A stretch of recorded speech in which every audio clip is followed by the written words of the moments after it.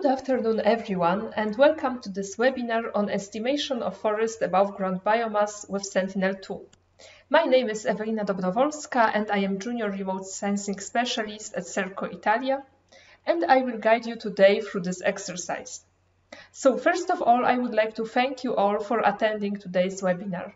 We are going to explore the possibility to use Sentinel-2 derived vegetation indices in prediction of above ground biomass values in the forested area in Ethiopia. For this purpose, we are going to use Python programming language applied in Jupyter Notebook environment. This webinar is going to last about an hour and a half and it is recorded, so after the session will be over, uh, this video will be available in our YouTube channel and on our website, so you can also replay it later when you want to repeat this exercise on your own. So the outline of this tutorial is following. I will introduce you first the RUS service and explain how you can access our virtual machines. Then I will move to presentation of the problem of today's webinar, so forest above ground biomass. Then I will um, move to uh, characteristics of Sentinel-2 satellite and its products. And finally, I will uh, go to the hands-on uh, case study to show you how this data can be used to estimate above ground biomass using Python script. At the end of the session, there will be dedicated time for the Q&A so during uh, the demonstration, you can write your questions in the question tab of this uh, GoToWebinar application and I will go through all of them and try to answer uh, to them later. Now, as you might already know, the RUS services stands for the Research and User Support for Sentinel Core Products. And it is a project funded by European Commission and managed by European Space Agency with the objective to promote the uptake of Copernicus Sentinel data and support R&D activities. The service provides a free and open scalable platform in a powerful computing environment hosting a suite of open source toolboxes pre-installed on virtual machines, which allow you to handle and process the data derived from Sentinel satellites. So what does that mean? With the large amount of data produced by the Sentinel satellites, the challenge is no longer data availability, but rather storage and processing capacity. To solve that, RUS offers virtual machines so that you have the appropriate computing environment to handle the data.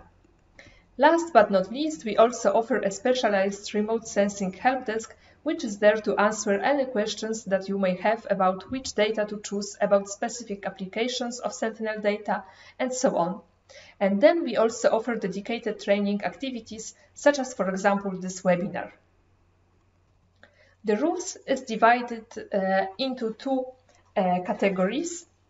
Uh, the first one includes training activities, and the second, individual users and R&D projects.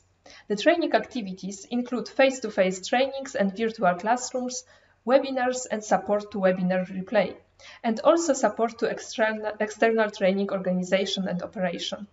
The participants of all the training events can take a possibility and advantage of limited number of remote desktop virtual machines, which are accessible to use from any computer. Regarding the individual users and R&D projects, RUS Copernicus provides support to individual projects through a new solution, which is a Docker container image. It contains the complete RUS virtual environment and tools, and it will be provided upon request. The container can then be deployed on user's own infrastructure, which can be cloud-based either in-house or acquired from a commercial provider. But it can also be deployed on a laptop or a PC. The ICT team is available to guide the users through the development procedure, and you can read more information about the Docker on the web page shown here. Now, finally, as you probably already know, RUS is implemented into two portals. We have the RUS-Copernicus portal, where uh, you can find all the information about the initiative, about the availability of virtual machines, and you can also register and request a virtual machine or the Docker container image. Then we also have the rus-training.eu portal, where you have registered for this webinar, and you can find here all the information about our past and future trainings and for all the webinars you can also um, have the recordings and the Q&A summary documents. Moreover, you can also check our e-learning portal and any news about our training activities here. Now, as I mentioned also at the beginning, any recordings of our webinars are also available on the YouTube on our dedicated RUS Copernicus training channel, and you can find them there in a few days after the event. Now that is all for the introduction to the RUS service. If you have any additional questions, please don't hesitate to let us know. And let's now move into the introduction to the topic of this webinar. First of all, you may ask me a question, what is forest biomass? And for those who are not familiar with the forestry sector, biomass is defined by FAO as a mass of live or dead organic matter. And generally, it is measured in units of dry mass per area, so for example, tons or megagrams per hectare. Forest biomass includes mass of all parts of the tree, so not only the tree trunk, but also bark, branches, roots, needles, or leaves and about 80% of the tree biomass is stored in the above ground biomass, which is defined as the biomass of living vegetation, both woody and herbaceous, above the soil, including stems, stumps, branches, bark, seeds, and foliage. So why do we measure forest biomass and why it is so important? Forest biomass is nothing else than the weight of the tree in the forest. So it is measured for economical reasons to understand how much resources we have in the forest. And if we know how much biomass one tree can produce, we will understand the tree growth cycle and plan the forest production. An increasing interest in measurements of the biomass is connected also to the ecological debate about climate changes and ways to mitigate them. Translating the biomass into carbon mass will allow to estimate how much carbon can be sequestered by the forest and finally reducing carbon dioxide in the atmosphere. And how do we measure biomass? There are two main methods found in the literature and applied by forest managers and owners. So first method is destructive method, direct method which requires harvesting a tree, slicing it into separate parts, drying them and then weighting. This method has the highest accuracy but also requires a lot of labor. So indirect methods, non-destructive methods are preferred among the forest managers and owners and they are based on the sample plots measurements. So basically, uh, forester has to measure the breast height diameter and the height of the tree. And with the use of biomass factor, which is defined for each species and also accordingly to the region in which the measurements are taken, uh, these metrics are applied then into allometric equations, which can be then applied to the whole stand. And uh, like this, we can predict the biomass of the whole forest stand. The pros of this method are that it is cheap and easy to apply, but it has also lower accuracy and high variability of the results related to the conditions of the measurements. Now, how to apply remote sensing to the above ground biomass measurements? So there are two ways to do that. The first one is regression. So this will be the method we will apply today. Basically, we can have remote sensing parameters, which in our case will be vegetation indices derived from uh, Sentinel-2 data, but we can apply them uh, from different remote sensing uh, sensors and we relate them in the regression model to the above ground reference measurements and we apply them to the whole acquisition of the image. So in our case, our above ground uh, biomass reference measurements will be based on the uh, global data set prepared by ESA Biomass Climate uh, Change Initiative, which is publicly available, and it is basically a raster file which contains uh, above ground biomass measurements represented in pixels in tons per hectare. The second approach requires the conversion from forest parameters to above ground biomass. So, for example, we can estimate the tree height with the LiDAR canopy height model and use this relationship from the tree height to above ground biomass and use it to estimate um, the biomass on the full scale of the image. Now I will move to the Sentinel-2 characteristics. And in this exercise, we would like also to apply multispectral imagery provided by Sentinel-2 satellite. Sentinel-2 mission carries a passive sensor and it is formed by constellation of two satellites, Sentinel-2A and Sentinel-2B. They are passing at the polar orbit phased at 180 degrees to each other, and the multispectral instrument it carries has 13 spectral bands in frequencies of the visible, near-infrared and shortwave infrared parts of the electromagnetic spectrum. The satellite provides data in a cycle of five days at the equator. It is characterized by the various spatial resolution based on spectral band from 10 to 20 and 60 meters. Let me introduce you to the topic of this exercise.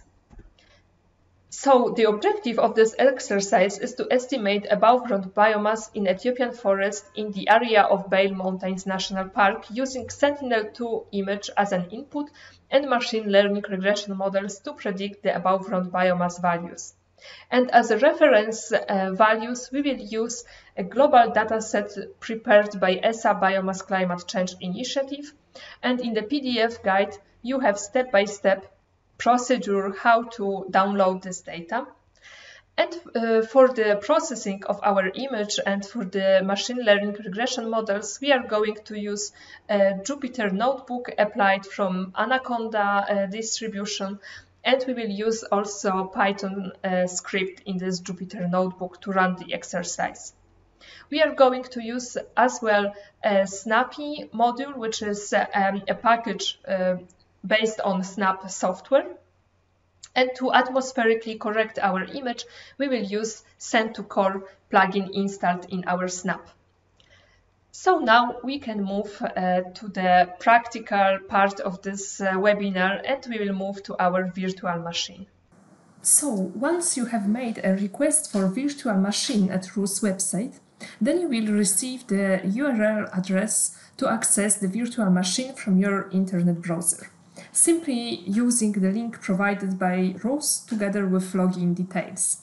And here uh, you will see once you uh, insert uh, the, um, uh, the URL uh, address, then you will see this web page uh, where you will insert your credentials. And then you, you just confirm with login so now I will just increase the size of the virtual machine. And uh, uh now uh, we are in the Linux environment, which uh, has very similar structure as your local computer. First of all, you will notice that virtual machine comes with um, different softwares already pre-installed and ready to use. So uh, you have here Jupyter Notebook, Snap, QGIS, RStudio, Visual Studio, and uh, much more. It comes also with a file manager system uh, where you can navigate uh, through um, the, the files. Uh, it has also internet browser and what you need to remember is that when you use internet uh, resources um, in this virtual machine, then um, um, they are internet resources provided um, and defined within the virtual machine. So you don't use your local uh, internet um, uh, to, uh, to browse uh, through the web websites. Uh, here also you need to remember that uh, we do not use our own um, memory to store and process the data. Everything what we do on virtual machine is stored in the cloud. So to start our exercise, we need to first navigate to the uh, folder which contains the uh, training, the files um, which are needed for this training. So uh, to do that, we need to navigate to the file manager system. Uh, here we go to shared training and we open a training uh, folder which is called PY02 underscore forest biomass underscore sentinel2. We open it and here we can see three subfolders. First subfolder is called uh, auxiliary data. We open it and here you can see uh, the files which are needed as input files to this exercise. So first uh, you can see the raster um, the, T, the GeoTIFF file, which is um, a reference raster derived uh, directly from the biomass uh, climate change uh, initiative. And you can see also it's resampled and subset version, so for, for you to use it later um, to compare your results with this reference raster. Here you can see uh, the Conda environment YML document, which uh, will be used for you to replicate the Conda environment used for this exercise. And here I have stored uh, points shapefile, which are basically um, the points coordinates uh, together with the reference value of above ground biomass for 2017 for the area of study. This shapefile contains 200 uh, randomly sampled uh, points over the study area and then later they will be used um, as a training data to our regression models. Next file is an IPYNB file, which uh, means that uh, this is a document of Jupyter Notebook.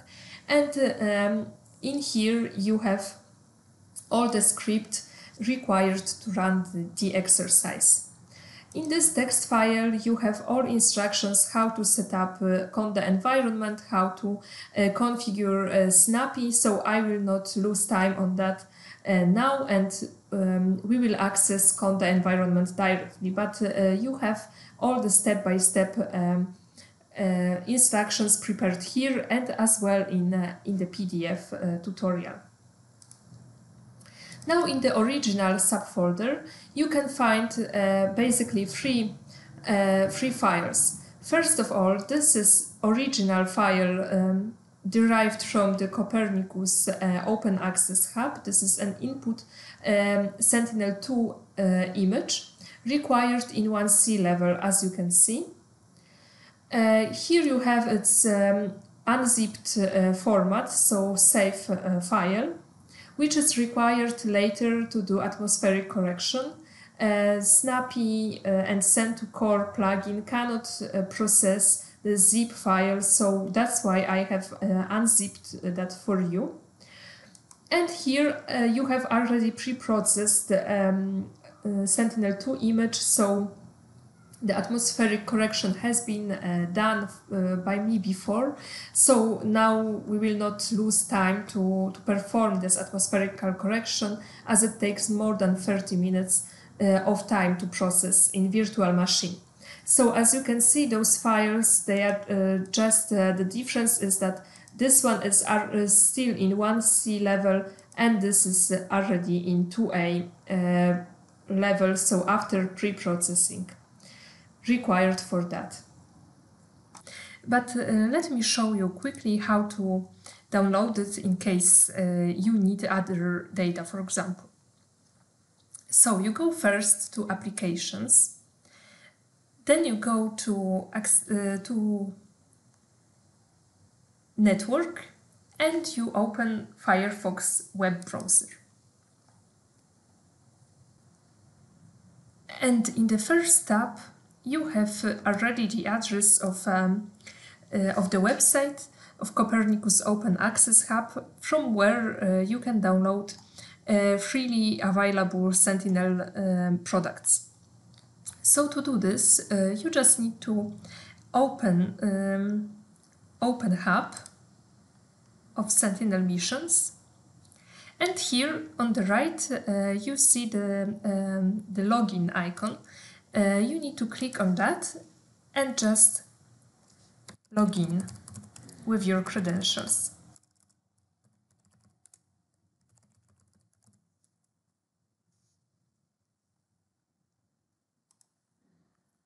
Once you are logged in, uh, you need to navigate here um, in this interactive map.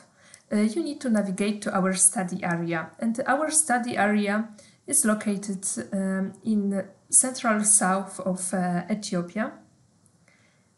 So we will uh, navigate to this uh, uh area and it's here. So I need to just uh, zoom a bit more. And to draw a polygon, you can do it uh, with uh, your uh, right click uh, with your mouse and just drag and drop um, the rectangular shape of the, uh, of the study area. Here you can precise uh, the selection, the, the, searching criteria. And um, we will use just one image um, for this exercise. Uh, so we need to define uh, only sensing period. It will be uh, the date um, in 2017 in January uh, 19. So I will uh, uh, only um, select a sensing period of this exact day because I know that the data then will be cloud free so we can use it for our purposes. So here in the sensing period, I select I select 2017 uh, January 19th, um, and as the uh, as the end uh, period um, is the same date. And here I will just um, check the uh, this checkbox with mission Sentinel-2. So we will search only for Sentinel-2 uh, data. Uh, I will leave satellite platform, product type, relative orbit number and cloud cover um, free uh, without uh, blank, without uh, any specific parameters. Uh, but uh, you can always uh, specify here the product type, for example, 1C level 2A level.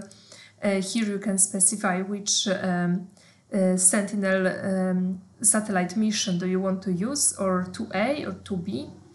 And you can also say that you want to have cloud-free data. So here you specify the percentage of uh, cloud cover you want to search for. Uh, so uh, for our purposes, uh, this is uh, um, sufficient because I know that this uh, search will only return um, one image. So we click on the search icon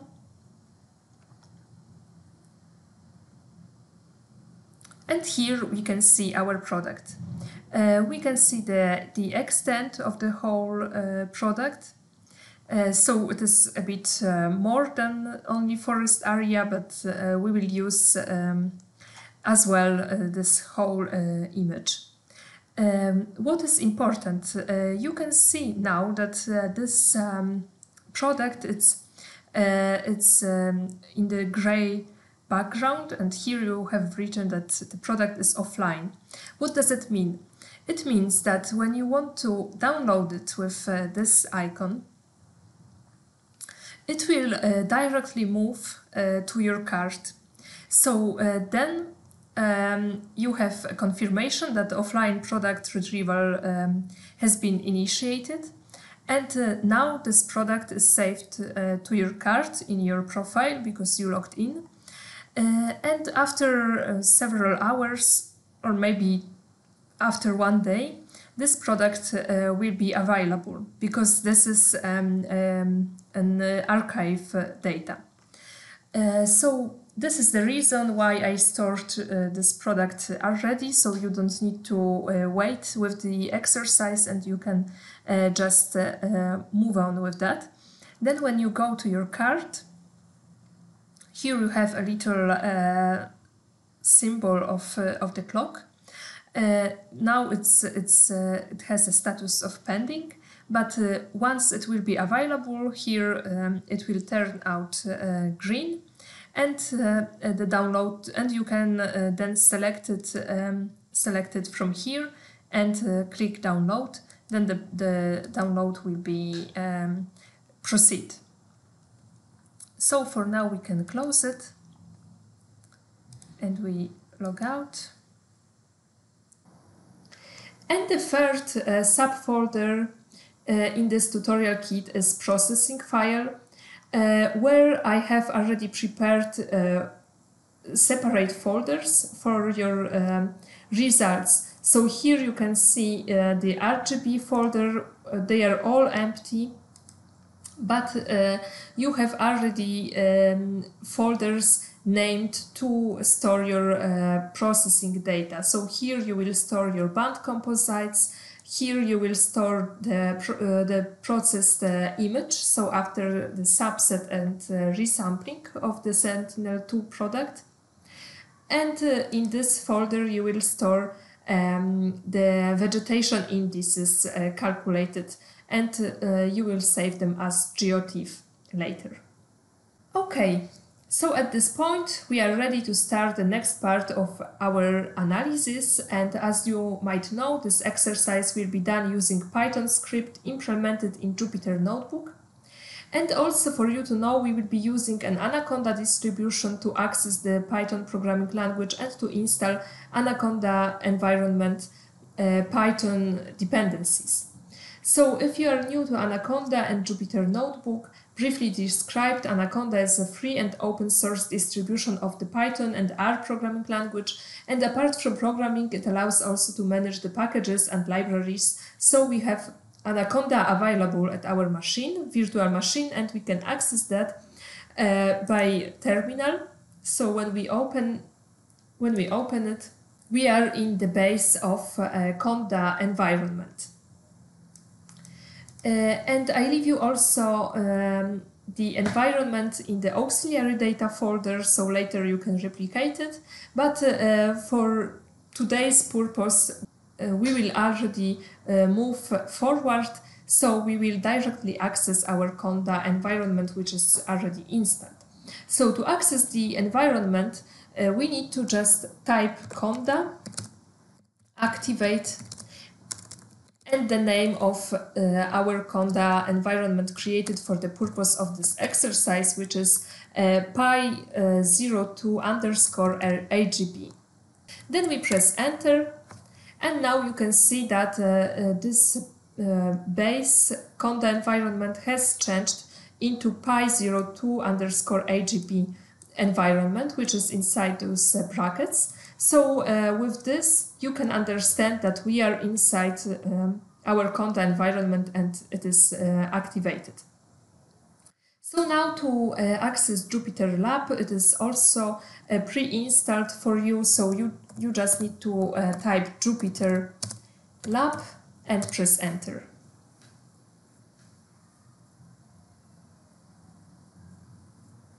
And at this point, we can access the interface of the Jupyter Lab, which is the new version of Jupyter Notebook. So it has some improved capabilities, as for example, this um, file browser here. But I will not lose so much time on the explanation how it works because we have already uh, prepared uh, tutorials about Jupyter Notebook and uh, there you have um, more details about it. Uh, I will leave you later a link uh, to this training so uh, you can watch it. Uh, you will also have links to the documentation of the Jupyter Lab and Jupyter Notebook, so you can uh, also read more about uh, this environment. Just for your information, by launching the Jupyter Lab from the Conda environment, we can access not only the Python programming, as you can see, different versions of Python are available, but also R programming language. Um, and here um, we need to, to start to work uh, with Jupyter Notebook. We need to just um, navigate to our uh, Jupyter Notebook uh, file, which is here. We just uh, right click on it and we choose open. So here we have our uh, web document open. We can uh, just extend the view so you can see it better. And I will not go uh, too much into detail how Jupyter Notebook works because uh, we had also already described that in our previous uh, webinars. So here I will just uh, go very quickly. So here, as you can see, we can uh, we have a kind of web document which contains uh, text, links, images. For example, here you have some tips um, and the code cells as well, executable code cell. And what is the difference between the executable code cell? Uh, you can see the difference in their background. As you can see, the code cell is, uh, um, has a kind of gray background.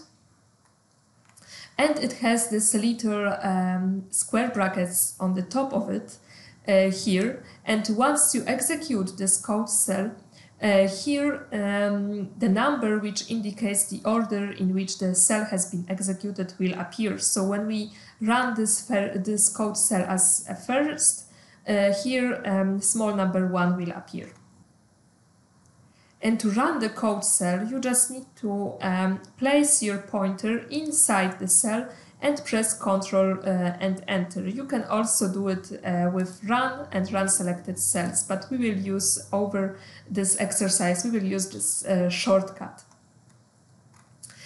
And here when you double click uh, on the uh, text, here you have editable version of this, uh, of this document. so you can see here how this, um, these sections have been written and we press Ctrl Enter and it's executed. So first of all, here you will have um, uh, the background of the problem of today's webinar. I left you also some links, for example, to characteristics of Sentinel-2, Python and Jupyter Notebook uh, tutorials. And here you have the outline of the section of this uh, exercise. So we, uh, so here you have uh, just a shorter version of what we will do, but uh, I will now go um, step by step um, with this exercise so you will see. Okay, so uh, now first of all we will uh, load all the modules required for this exercise. And as you can see, on the left side you have a module name and on the right side, you have a short description what each of the module does. Basically, the most important modules used in this exercise is matplotlib to, uh, to create visualizations, uh, pandas to, um, to manipulate and analyze the data, NumPy for uh, scientific computing, Snappy module, which is very important for the pre-processing of the Sentinel-2 image, uh, we have also Rasterio to work with uh, raster data, uh, raster stats, which will create zonal statistics for um, the extraction of pixels. Um, and GeoPandas, which is extension of the pandas for the geographical databases. And what we will do, we will just press Ctrl Enter now and we can see that the kernel is busy because uh, it has a gray uh, background here and also here it was a little asterisk inside the brackets and as I told you when the code cell is um, has finished uh, now you can see a small one uh, inside those brackets so it indicates that the code cell has been run. As an output we can see that uh, all the modules were loaded so uh, everything is um, is uh, proceed. So now those modules are ready to use um, in our Python script. And now we move to the user input data. So this is the part where some editing will be required from your side when you want to use the script on your own data. For example, here we provide the input directory. So basically it is a path to the original uh, Sentinel-2 data. Uh, we have also output directory where all output products will be saved. Uh, so uh, you can see that this is a processing file uh, which I created for you. And here we have defined a path to the input product for the atmospheric correction. So as I told you, uh, the Sen2Cor plugin does not read the zip file, so I have prepared here a path uh, to unzipped um, Sentinel-2 image file to its uh, metadata um, uh, file. And as the last, uh, we will load the path to the training data points uh, previously created also by me. Uh, so these are those random points over study area, which contains also the value of above ground biomass from 2017 for the study area derived from uh, a reference raster from um, biomass climate change initiative. And to run this cell, also I will just press Ctrl and Enter, and in a second you can see that uh, a second cell has been executed. We do not have output here, but uh, we do not have also errors, so it means that everything is okay and the, the, um, the paths have been uh, saved under those variables in the virtual memory. So to facilitate the processing of the data and avoid the duplications of certain parts of the script, I have created some functions here in order not to have to repeat the same pieces of code all over the document. And the first function presented here is the function uh, which allows to write the band composites using Snappy module in Python.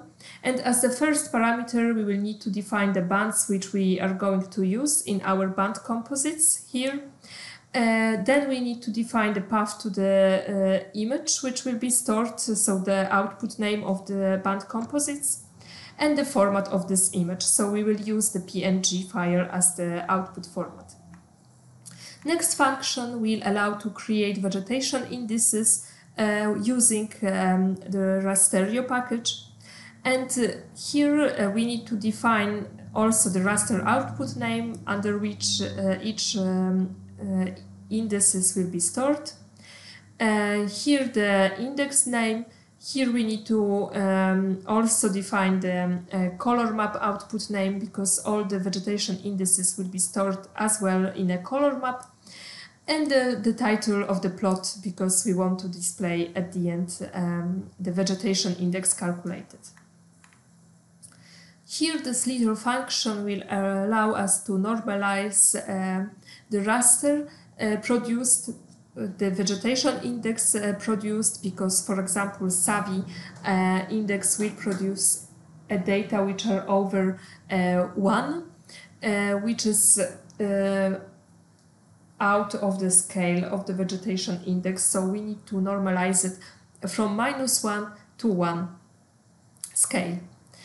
Uh, then we uh, will define the zonal statistics function, which uh, basically will extract vegetation indices values based on the polygons buffers, uh, which will be created um, on the points. Um, and uh, here we just need to indicate the vegetation index um, name on which uh, this uh, zonal statistics will be performed, the path to the polygons which um, contains those buffer zones around the points which will be created and uh, the output will be the vegetation index mean extracted from those polygons. Now here uh, we define the little function to uh, create a geodata frame of those vegetation indices uh, extracted and then the data frame um, which uh, will drop the columns contains geometry and uh, coordinates of the points which will not uh, be no um, which will not be needed anymore.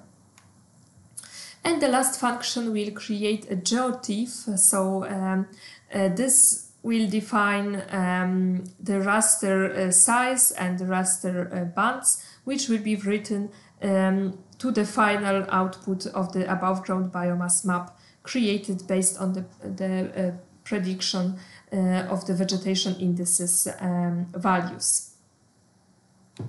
So now we will run this cell and it is run also without any error so now we can uh, proceed to the next step. Now we will move to atmospheric correction and as I have mentioned before, our Sentinel-2 image acquired for the date in January 2017 uh, was possible to download only in uh, level 1C, which is an image without atmospheric correction. So the atmospheric correction is required to proceed with this uh, image. And this step in the virtual machine takes about half an hour, so if you want to proceed without using, losing your time on pre on pre-processing, you can just skip this step and go into next sections, so into processing uh, section. I am using here basically the uh, Snappy um, the Snappy package to load a Sentinel 1C level product here then the atmospheric correction is done um, with Sen2Cor Toolbox version 280 or 2.8. And as you can see, as a parameters, uh, I use, I specified only the resolution because I want to run the atmospheric correction on all resolutions of this uh, image. And here uh, I specify that I want to use Sen2Cor plugin with those specified above parameters and on the image uh, specified also here. Once the uh, processing will be done, I will receive um, um, I will receive a communicate that the, the pre-processing uh, has been done. So um, let's run it.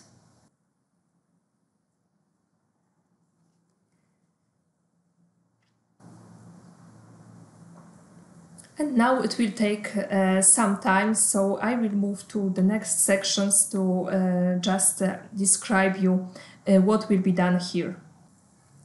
So here in this step, after atmospheric correction has been um, saved in the original data direct directory, and the image uh, processing will be done. So first of all, I will declare the path to the pre-processed image, Sentinel-2A level, as you can see here.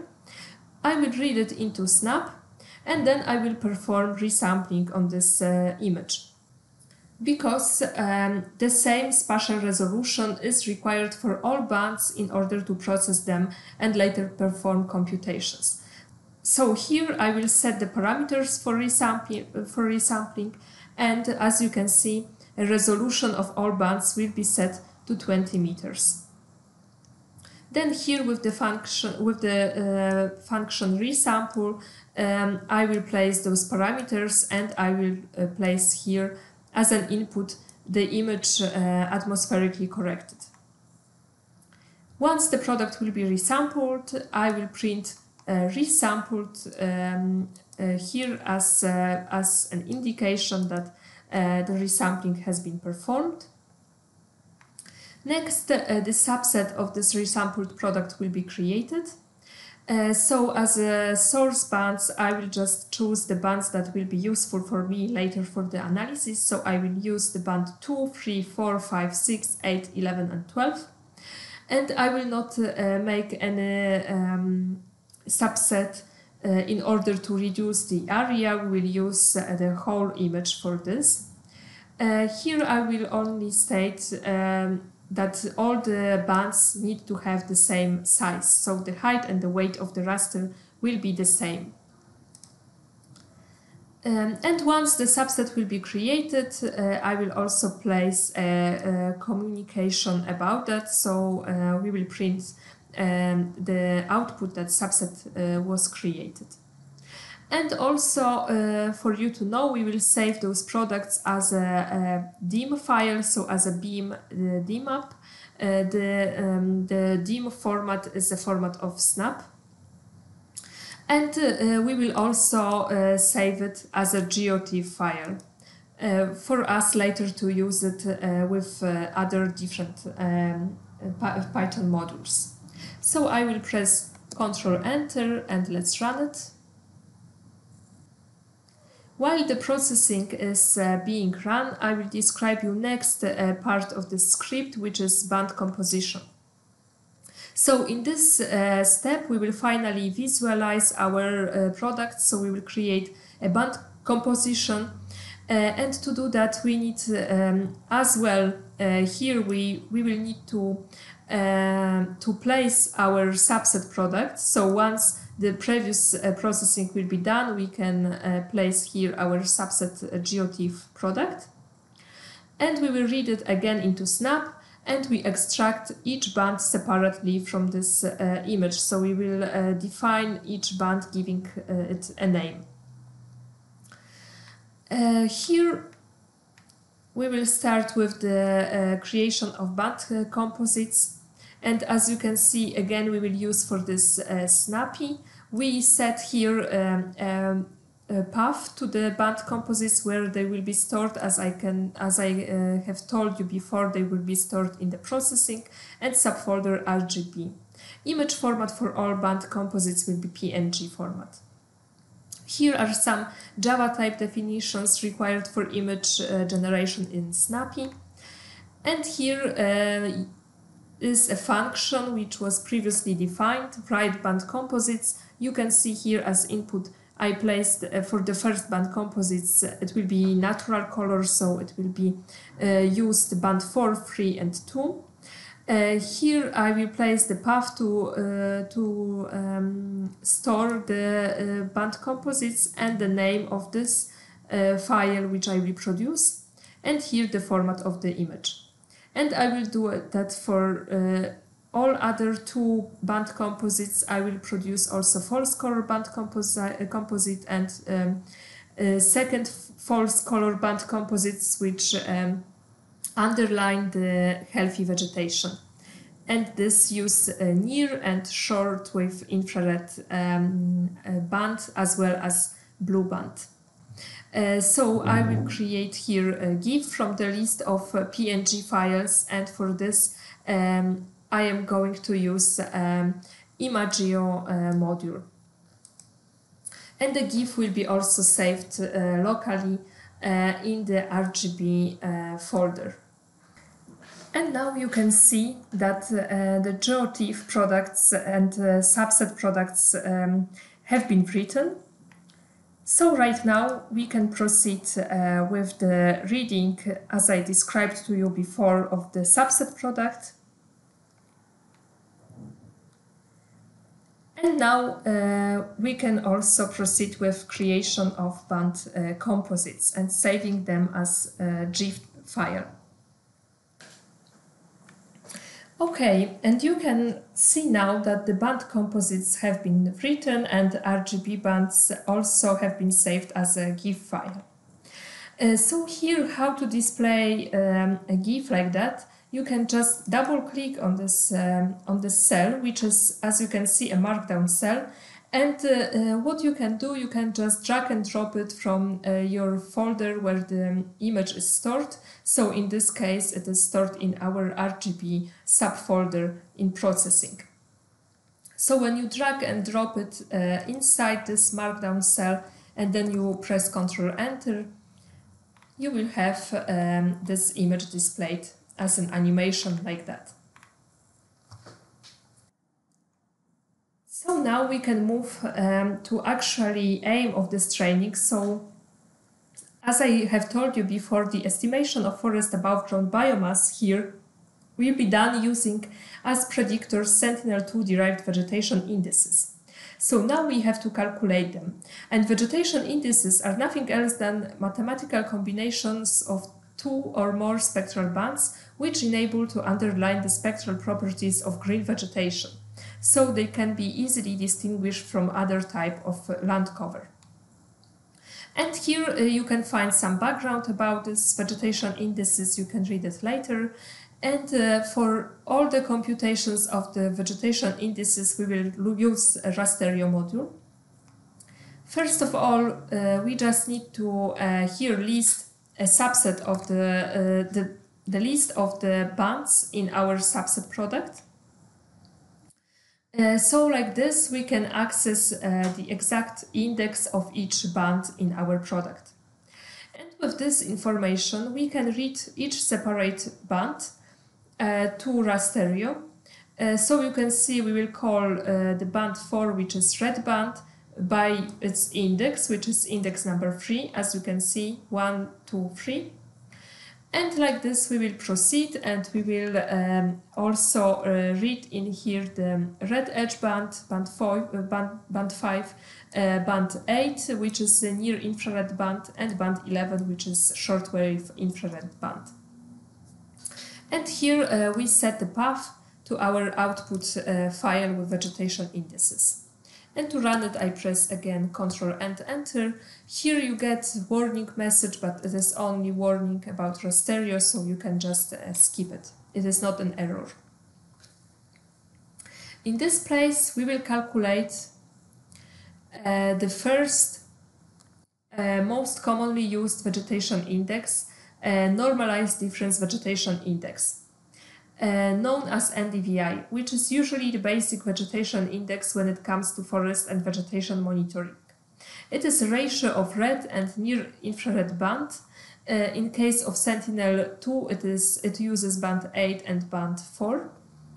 And as you can see, uh, here I stated the equation of this, uh, of this um, uh, vegetation index. And the creation of this index will be done using the, the, uh, the predefined function in the section 3.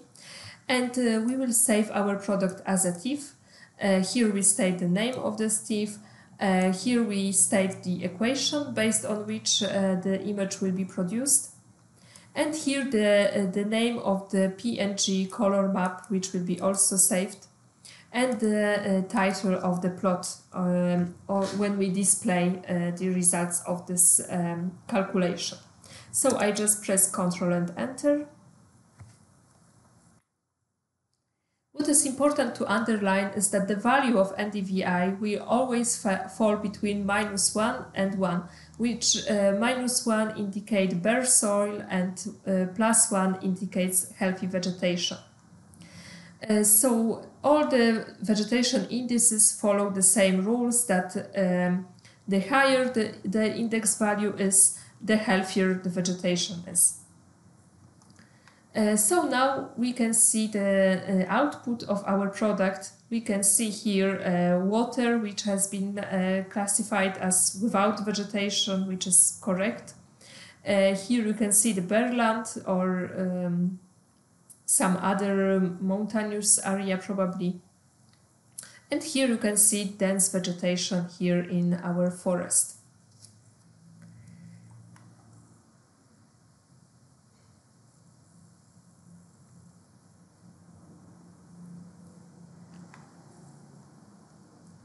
And now we will move to the next uh, index, which is normalized difference index NDI45, uh, which is an index related uh, to NDVI. However, it is characterized by greater linearity and shows less saturation at higher values of NDVI index, as done NDVI index.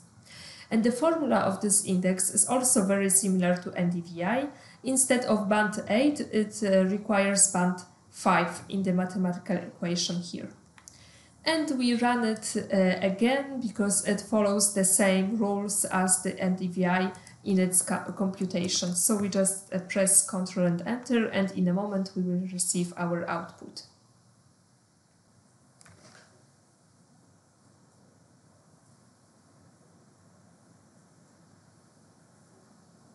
You can see that the values are more or less similar, but here the water doesn't appear. You can see that the value of this NDI 45 uh, index fall in the range uh, from minus 0.75 to up to plus 0.75.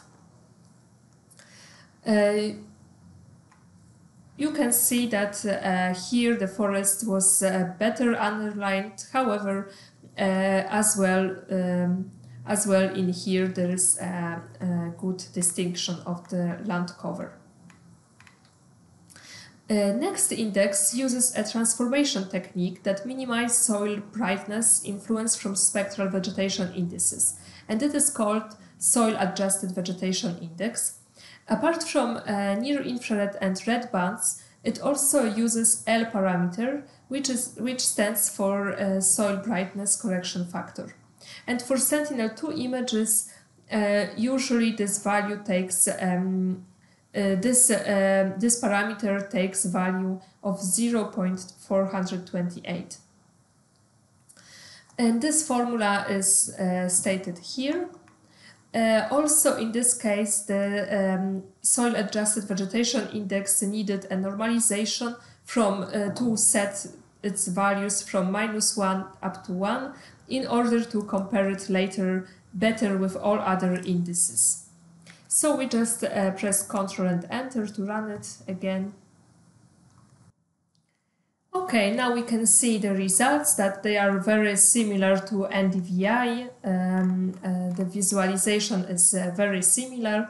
Uh, you can see that values are reaching 1 and uh, they go from minus 0.75. You can see also good distinction of the water area here and uh, the forest as well. Uh, the next index is normalized difference moisture index, which is very robust vegetation um, sensitive um, uh, index. This enables to access the information about water content in plants and uh, mesophyll structure in the vegetation canopy. For this calculation, a shortwave infrared is used together with near infrared band and the index is very commonly used to evaluate vegetation moisture uh, decline during the drought uh, and for drought monitoring.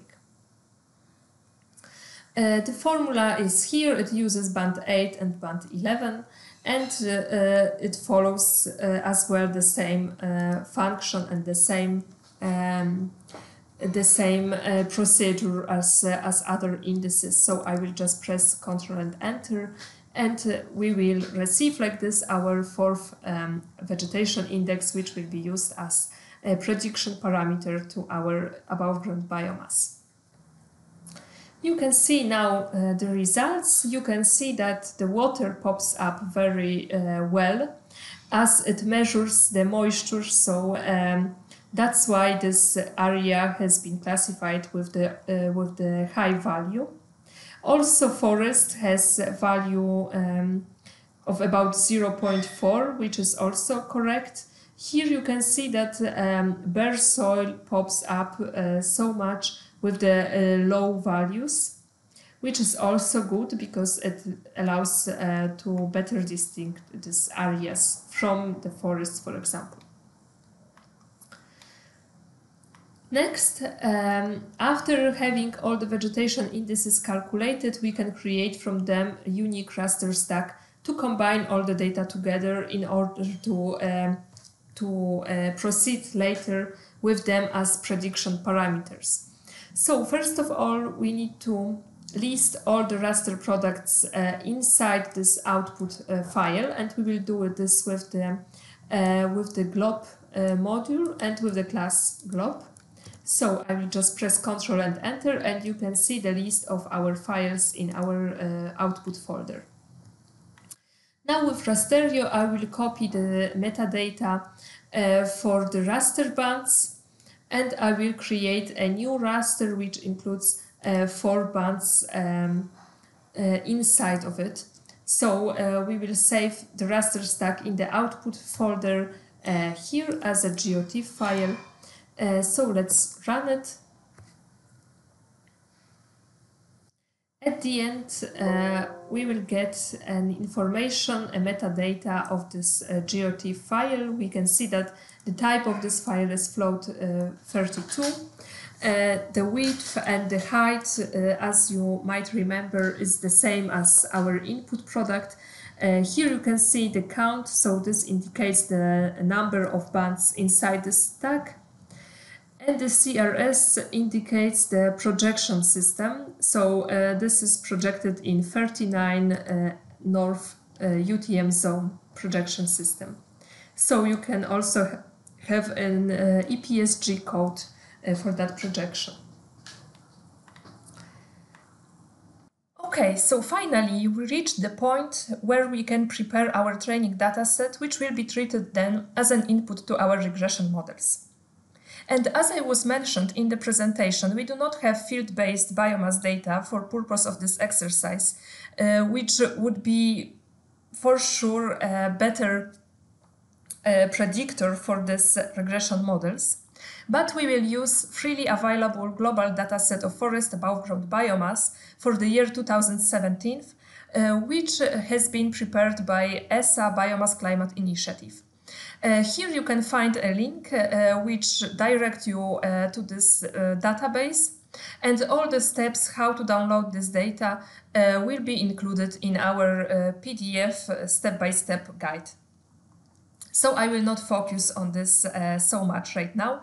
Uh, the most important thing is that uh, the dataset uh, we use raster for this in a GeoTIFF format and it includes estimates of above ground biomass represented in tons per hectare. So each pixel represents um, some value of, of above ground biomass in tons per hectare. Uh, now we can move to um, to import our training points uh, shapefile and as you can see we will use GeoPandas modules for this.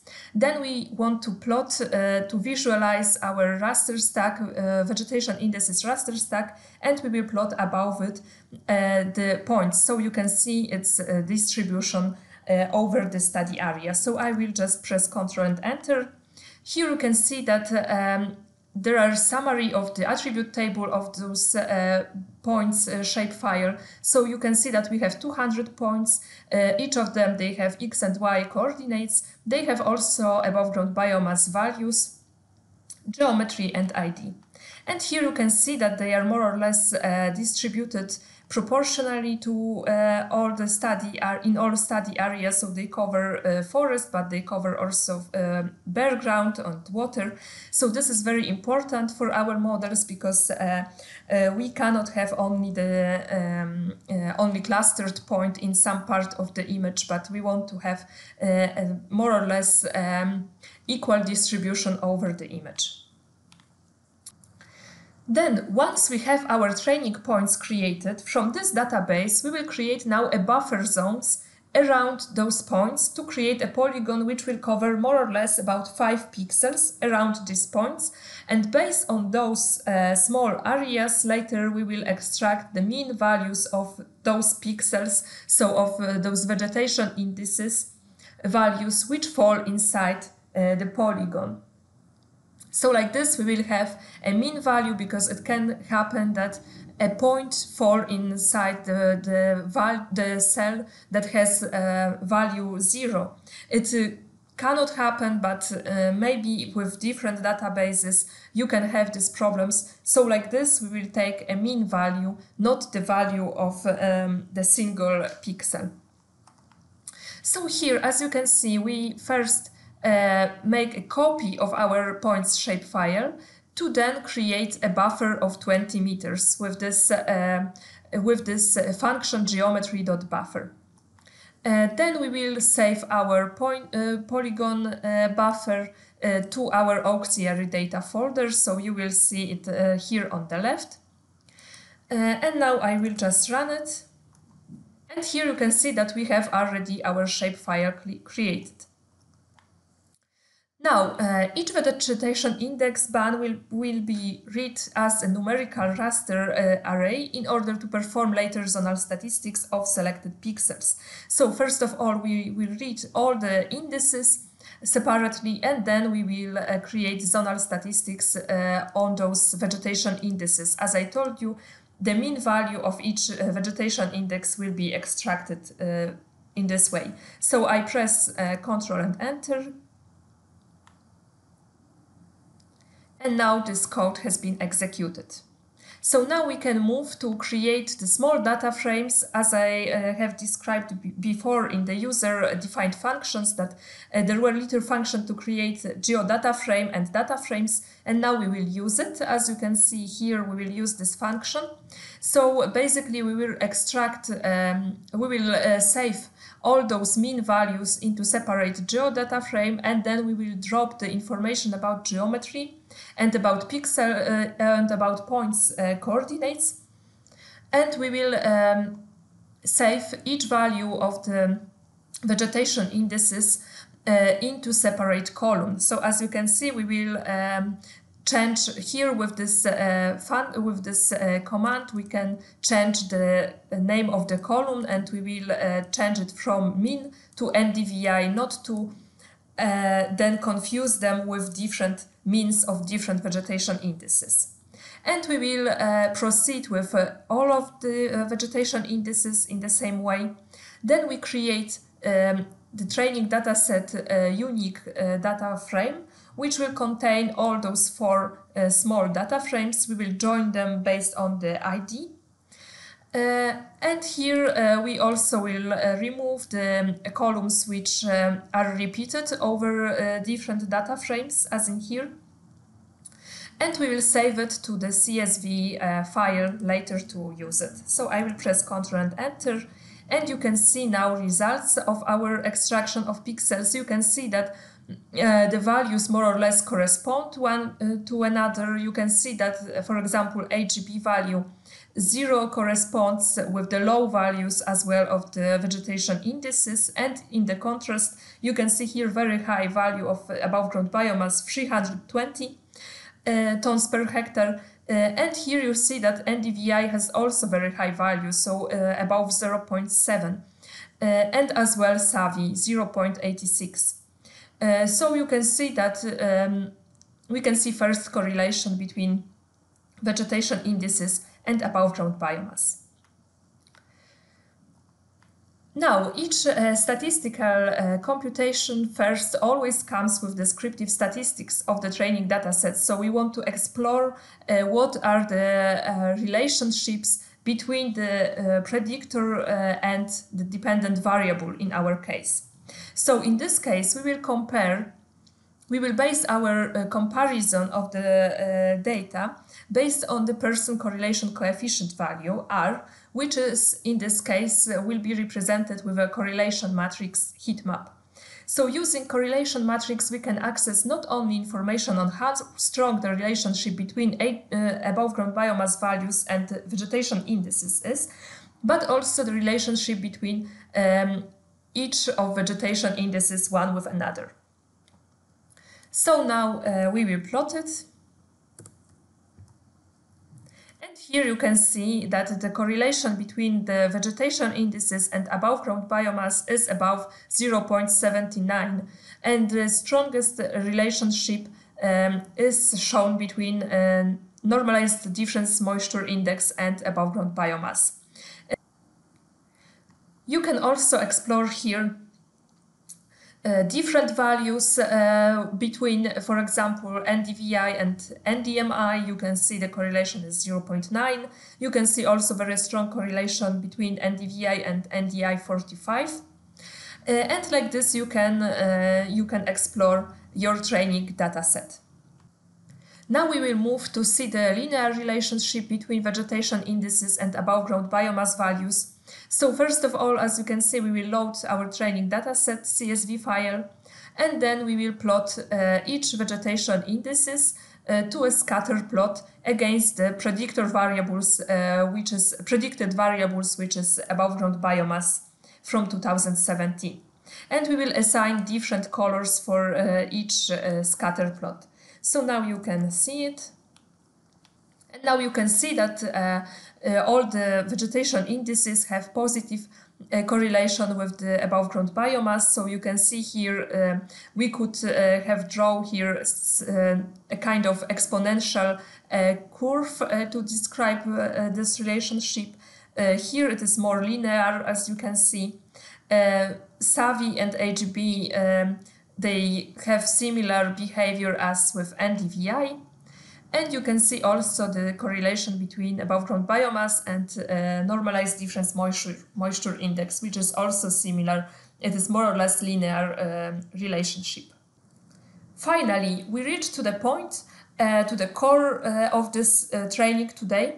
So uh, we will predict now above ground biomass values across, select, across um, study area using um, machine learning techniques.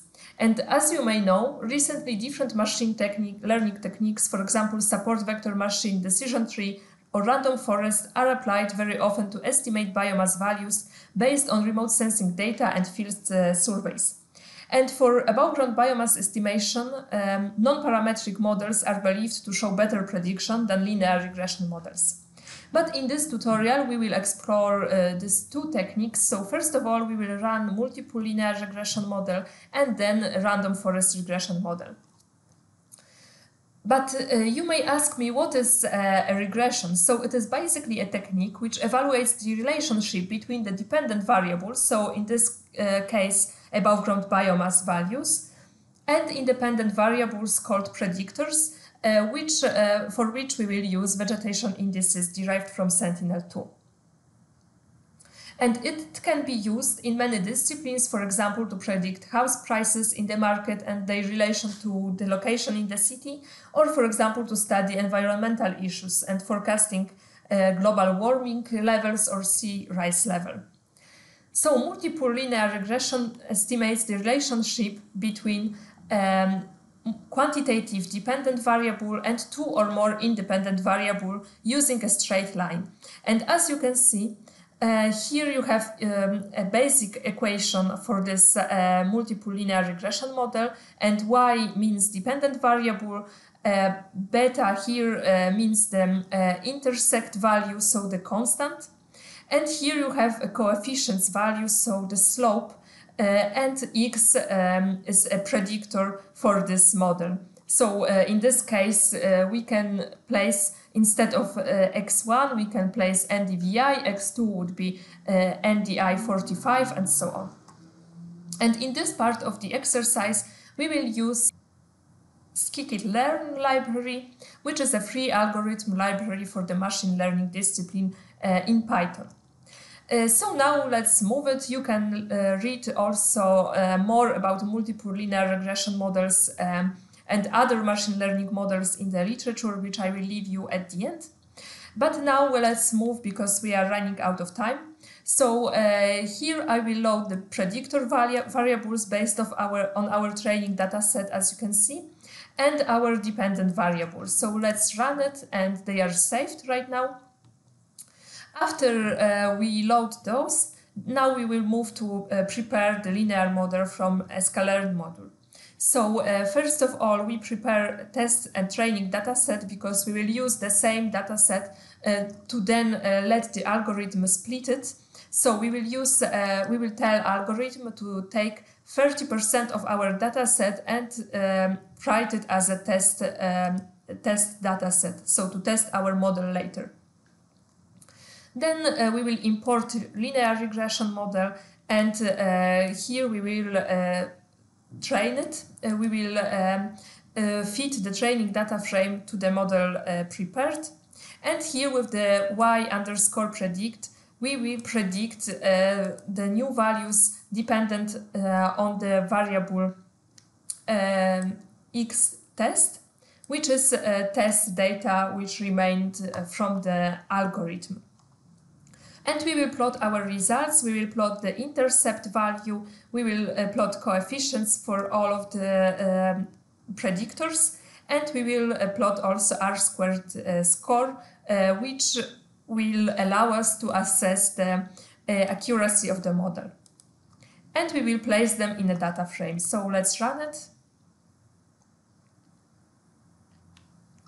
Here you can see that our intercept is 16.26. Coefficients here are uh, written in a vector. So for each uh, predictor, we have uh, its uh, coefficient value, and this is nothing else that this uh, beta 1, beta 2, which you can uh, later um, place it in here, and you can, based on those values, you can predict the dependent variables. And here we have R squared score, which is 0.76, which is quite good results, uh, taking into account that we are uh, making prediction based on the raster uh, data set, not on the field-based measurements. Now we move to nonlinear regression model, which will be used uh, again to predict above ground biomass values. And uh, you might already know this algorithm uh, but, from the classification. It is random forest, but in our case, we will use random forest regression, which is considered as one of the fastest machine learning techniques. Uh, and it, is, uh, it has very good results in prediction of biomass values. And this technique is based on decision trees, which facilitate the decision process. So the decision tree in uh, random forest is built in iterative ways, so from roots into its leaves. And each tree in random forest is built with different defined algorithm by selection of random sample coming from predefined training dataset. In our case, we will set three parameters to build our tree, and it will be number of estimators, uh, which control the number of trees in the classifier, uh, maximum depth of the tree, so the limit uh, to, uh, to each uh, tree will be grown, and uh, n underscore jobs, which is uh, which uh, allow to process faster, so to use all processor to calculate the regression. And now we, you can find also documentation about this um, in here in this link. And now we will load our features, so our predictor variables, our dependent variables, and now we will split again our uh, train and test data um, to 30%. Now from a random forest regression class, we will, um, uh, we will um, create our model. We will use 100 estimators um, as, uh, uh, as the maximum value. We will also set our maximum depth uh, to, to 3. But later you can choose, also you can play around and change the values and see what happens with the model. Then we will feed our regression model into our training data. So now let's run it. You can see confirmation that the random forest regression was run. And now we will predict, predict our data of uh, dependent variables, so of our above ground biomass model. Here we will also plot the R square to compare it later with linear regression model. And as you can see, it has 0.72 uh, percent. So uh, R square is um, uh, telling us information about coefficient of determination. So it is proportion of the variance in the response variable that can be explained by exploratory variables. Uh, so in this case, more than 70% of the above ground biomass can be explained by the vegetation indices, which is rather good. Here we will produce numerical values of the importance of each vegetation indices values to the random uh, forest final model. Uh, so here we will load again the list of predictors. Here we will uh, use the feature importances class to, uh, to plot each um, predictor and its importance. And here we will uh, we will just uh, set that um, it has to be created a list of the features and their importance, and we display our results. And this gives us already uh, plenty of information that uh, normalized difference moisture index had uh, highest importance in prediction of this model. It had 0.66 um, um, so 66% of the uh, above ground biomass values were predicted using a normalized difference moisture index. Uh, here you can also see that uh, important value was NDVI, SAVI as well, and the I45 was the less important vegetation indices. Now let's move uh, next. And this step is the last step of this tutorial. We have created our machine learning regression models and now we will use these models to create the final output. Uh, so here uh, with this uh, piece of code, we will uh, basically we will uh, set the uh, path into our vegetation indices stack. Then we will also load again our training data set as a CSV file. Then we will say a list of predictors the predicted variable AGB. And now with uh, the GDAL module, we will open uh, the input raster and we will set, uh, we will assign the size of the raster, so rows and columns and number of bands to this raster. We will transform it and we reproject it to the projection needed because it needs to have the same as the output raster. Here we will convert it to the NumPy stack to perform calculation. And we will assign a, a, data type of this raster to float 32 because uh, we had also the same data type for our vegetation indices. Here we state the path to the output uh, product. And uh, now this is very important part. Uh, here you will state uh, which regression model you want to use to predict the values of a new raster. So here we will use multiple linear regression model and we will reshape it into the shape of the rows and columns numbers which we uh, stated here. And with create GeoTIFF function, which was predefined, we will uh, export classified image uh, as a GeoTIFF file and save it in our computer. So let's press run it.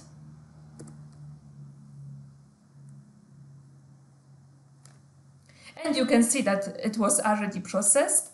And we will do exactly the same with the above ground biomass raster based on random forest regression model. But uh, what will change uh, here, we will just change uh, the, um, the model of regression which will be applied. So here you can see we will apply random forest regression model to predict our data. So let's run it also.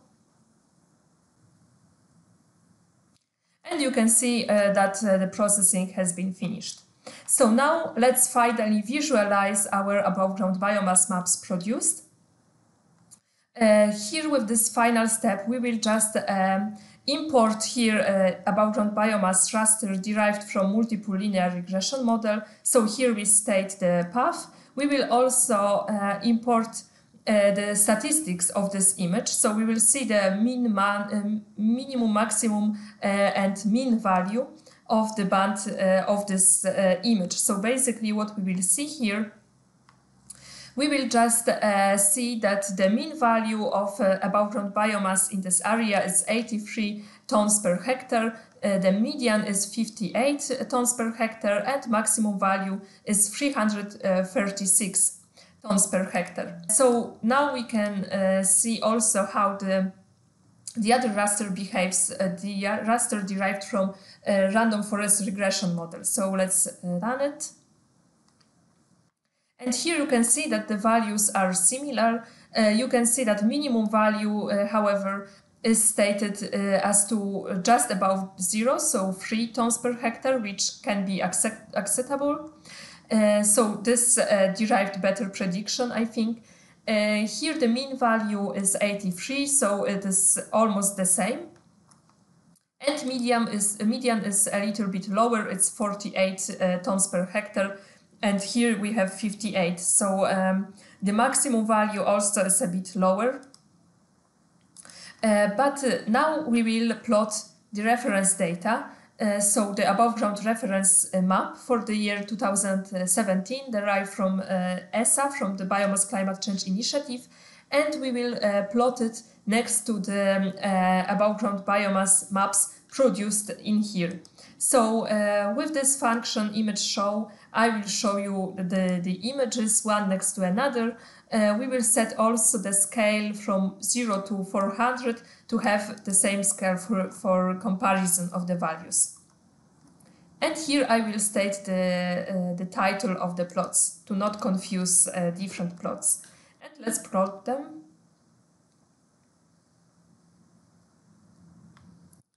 You can see now, you can compare visually that uh, the um, multiple linear regression model predicted uh, very high values for the water uh, values of biomass, and it can be caused uh, by the vegetation index, uh, normalized moisture index, which um, underlined very high uh, water content in the scene. here you can see random forest regression model behave a bit better and you can see the reference map. So uh, comparing those uh, three, you can see that our results uh, are accept acceptable.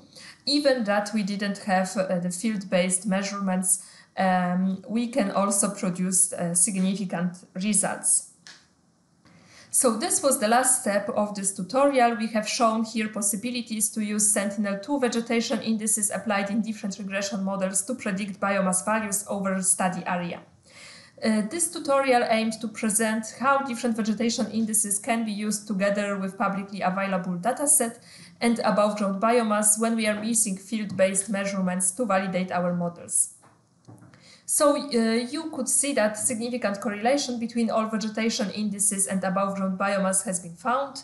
You can also explore now different open source databases of biomass around the world and compare those values obtained here with uh, the values which were calculated and which are uh, publicly available. Here I left you some uh, links to those uh, interactive maps. You can explore it when you have time.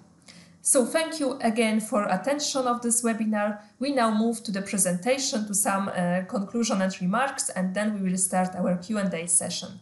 Thank you. Okay, so this will be the end of our session today, of our webinar. Uh, I hope you have enjoyed it and I hope for those of you who were not familiar uh, with the above ground biomass concept and how we can estimate it using Sentinel-2 data, uh, it was something uh, uh, useful for you. and also that um, you you have learned something how you can process this kind of data directly in Python and in Jupyter Lab environment.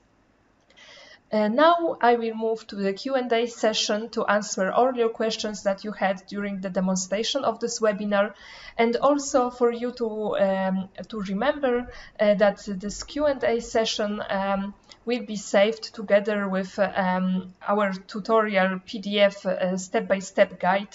Um, uh, it will be um, available in our training website. Another information is the training code of this webinar is PY02. So when you apply for uh, the um, uh, virtual machine, uh, you need to ask for um, for a particular training. Uh, so um, the code for this training is PY02. Uh, here you can find also um, contact uh, to us, our websites, and uh, my email address if you uh, have some questions or you need some clarifications about this webinar, you can just uh, write an email and uh, we will stay uh, in touch. So thank you once again for your participation and now I will move to live Q&A session.